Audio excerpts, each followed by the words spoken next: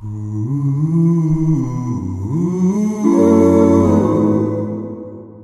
are some people who are just toxic in the way that they discuss things. If they want to have any sort of a debate and you disagree with them even in the slightest, they just go off the deep end. Prince of Queens is someone I had a falling out with recently. And I, I just, I can't understand how he can think that the way that he goes about things is beneficial to him. I mean, his videos will sometimes bring up uh, some good points. You know, I, I've recommended his videos before. But the attitude he has in his videos is the attitude that he puts out to everyone in person, in just just everywhere. Well, I and they don't and I because I'm. it's his attitude about everything. Recently in Twitter, he was uh, he uh, there was uh, got that funk. Myself and him were having a discussion, and he started saying how corrupt Obama is, and was making these really grandiose declarations about Obama which, you know, they may be true or they may not be, but I just ask for some proof. And so he goes, Well, will you, will you look at a, a video from someone you don't like? And I said, Well, maybe. Well, then you don't deserve the information.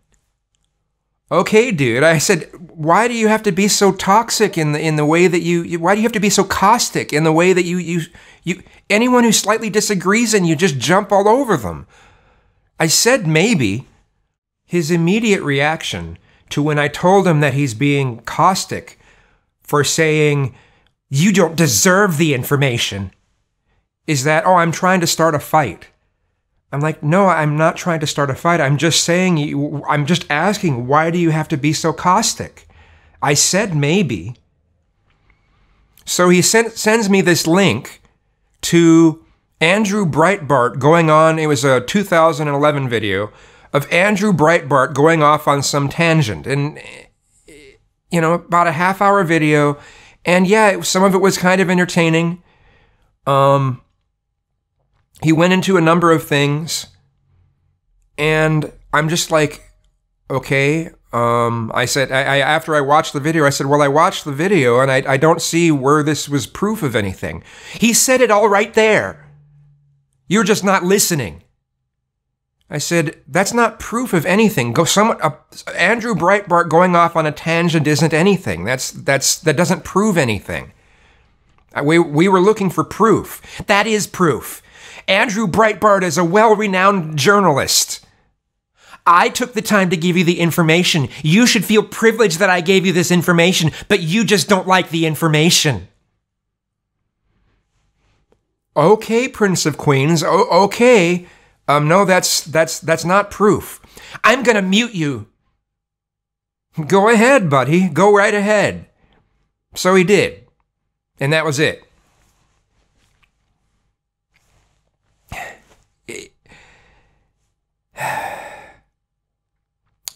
I'm just reminded of how Prince of Queens. There's there's a uh, there's a Facebook group that I'm part of. Uh, well, I'm I'm part of the. I, have been involved in the Radical Faeries since the mid '90s, and there's a there's a Facebook group oriented towards it in for Seattle. And Prince of Queens uh, had started going off on a an anti-feminist tangent on their you know on their site on their on their page and someone that i dated for two years is a moderator there and uh, they kicked him off um, they kicked prince of queens off because he went on this tangent they're just censorship happy and they're just and he goes off like that he's he's you know went off about it before and i'm just like dude, if you if you treat people the way that you treat me or that treat anyone who has a slightly different opinion, it's no wonder why they kicked you off. What's wrong with you, man? And let me be clear, okay? The radical faeries have had a number of feminist things interjected into the group. Okay? It has changed a bit. But in general, I just ignore that and, and enjoy the group for what it is. I enjoy the gatherings they have. I, I you know, I try to take make the best of, of what they are. That's what you do. That's how you operate in real life. You know, it's not it's not a YouTube page. You know, it's it's now in this case it was it was a Facebook group, but that's not the place where you go to hash out your hatred of feminism. It, it's it's it's not the place. But to Prince of Queens, everywhere is a place for him to go off on these tangents, and if they don't like it, well, it's it must be them. Any attempt to criticize Prince of Queens, he will say is projection. It's what he does every time. Every time. It's projection. Anything you criticize him in is projection. And it's kind of pathetic. And he just can't seem to see it. Well, I'm because they don't because I'm just like, dude, what? Get off your high horse, man. What is wrong with you? Seriously, he's got some major issues. Again, some of the videos that he makes, he he he will often bring up good points. He he pieces together information in an interesting way. But damn it, what what the hell is with his personality issues? Oh my fucking god. It's ridiculous. Um I guess I don't know what more to say. Uh there there's someone else who who is rather who gets really caustic in in uh, in comments, and that would be Seb Beach.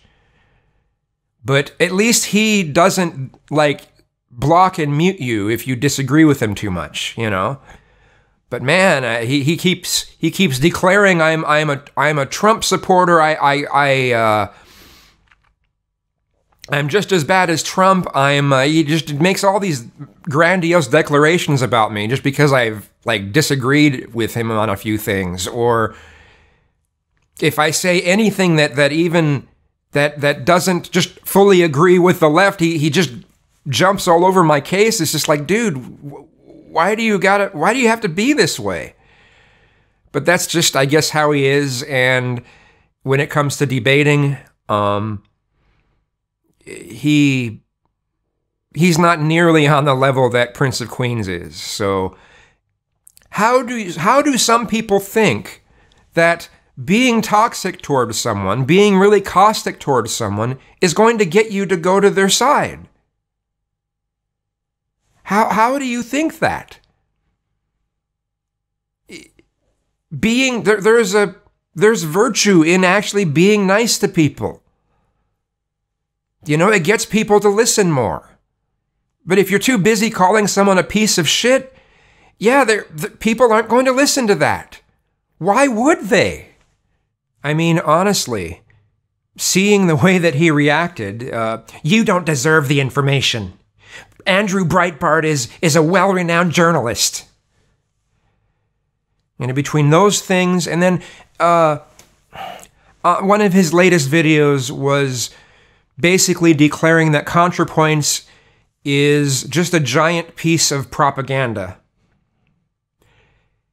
And I and I, I commented on his video saying, well, anything that is uh, someone is taking a lot of time, whether it's a person or a group of people, they're taking a lot of time, effort, resources, money, whatever, to try to get people to see a particular viewpoint could be considered propaganda. That's just what left wingers think.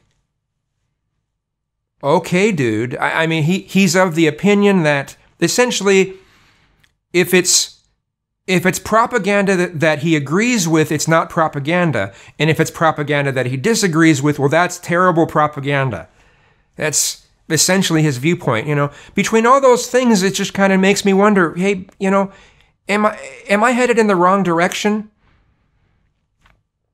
I think about him. I think about uh, uh, people like Bearing. I think about uh, Sargon of Akkad. I think about V. I think about so many others that it's this assumption that pe- people on the left are literally crazy and that they will never I don't know though. I mean, then you, then I got to think about people like uh, uh, Kristi Winters and uh, just a number of others on the left who I, I had I got into a, a, Twitter spat with them uh, because I was suggesting that it's a negative thing that Steve Shives uses block lists and will block people for simply being friends with someone that he doesn't like. Um, yeah, just because I said that that's that's kind of a negative thing.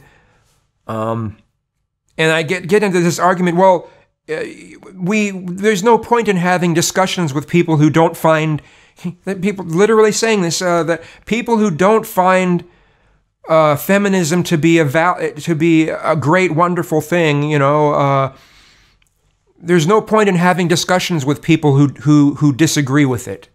And I'm thinking that's crazy.